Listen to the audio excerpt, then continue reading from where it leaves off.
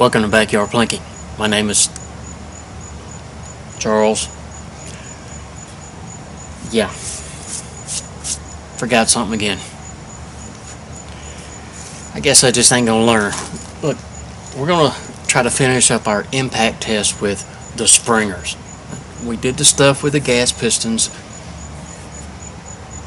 To me, I mean, I know it's hard for you guys to tell on camera, but me being up close and personal, little too close to call between the Surge and the one from Bear River slash Black Ops, you know, snipper rifle. So, I got three set up here. We have four springers. The uh, new one from Swiss Arms, the Daisy 1101W, the Beeman, .177 caliber barrel in it, and the uh, the gar the uh, the varmint. I don't know why I couldn't say that. So I'm just gonna reach over and pick one. We're gonna shoot three.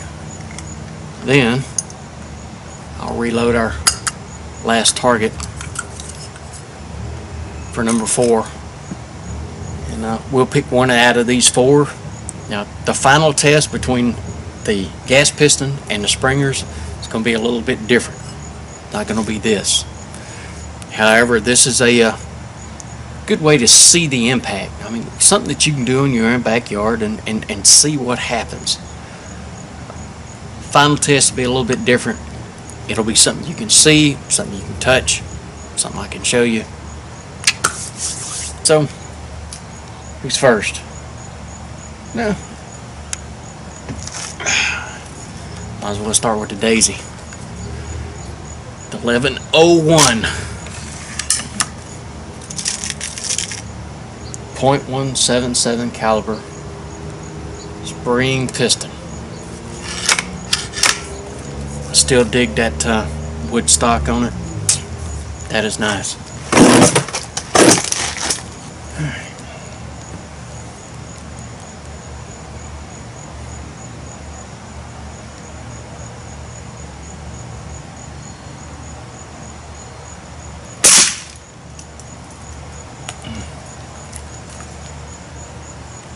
Got a pretty good chunk. How about the Beeman? This is the silver Kodiak multi-caliber. This one just happens to be the uh, .177 barrel.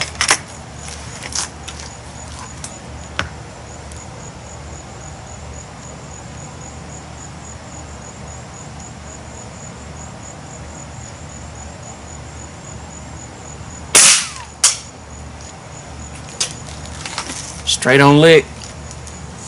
But not too much out of it.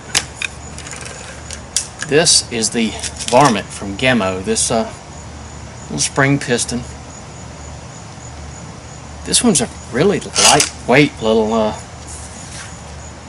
little thing. I, I mean, I did a uh, review, did a video of it. This one is it is not bad. If you're going got a younger individual going around, it's a good one for them to work with, especially with the adjustable trigger that's in here.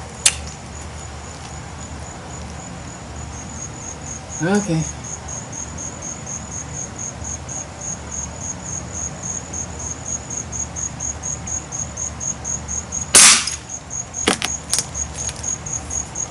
Well, out of those three, just sitting here. I know it's hard for you to see because it's a long ways off. The daisies are really the only one that did a lot of damage. So let me get these down.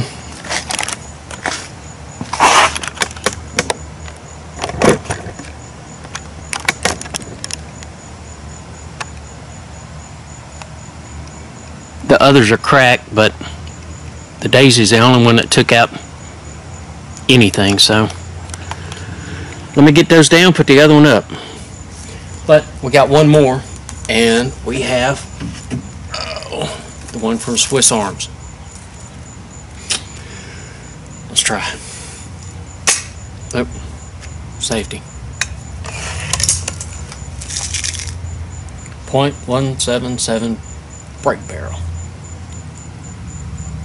Spring piston.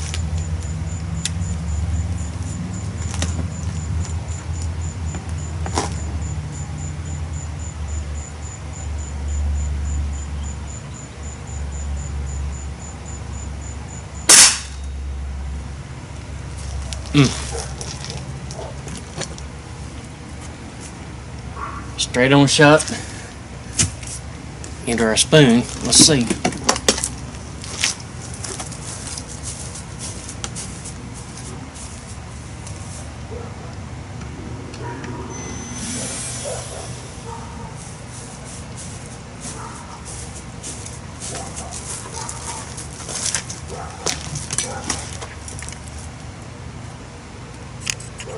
Not a lot.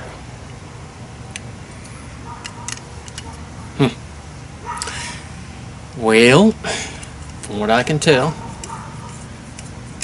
Daisy wins this one. So for the next impact test, you'll see the Daisy 1101, the Umarex Surge, and the one from Bear River. Be a different test though something that uh, you'll be able to see pretty good. Anyway, until next time, my name is Charles. It's been Backyard Plinking.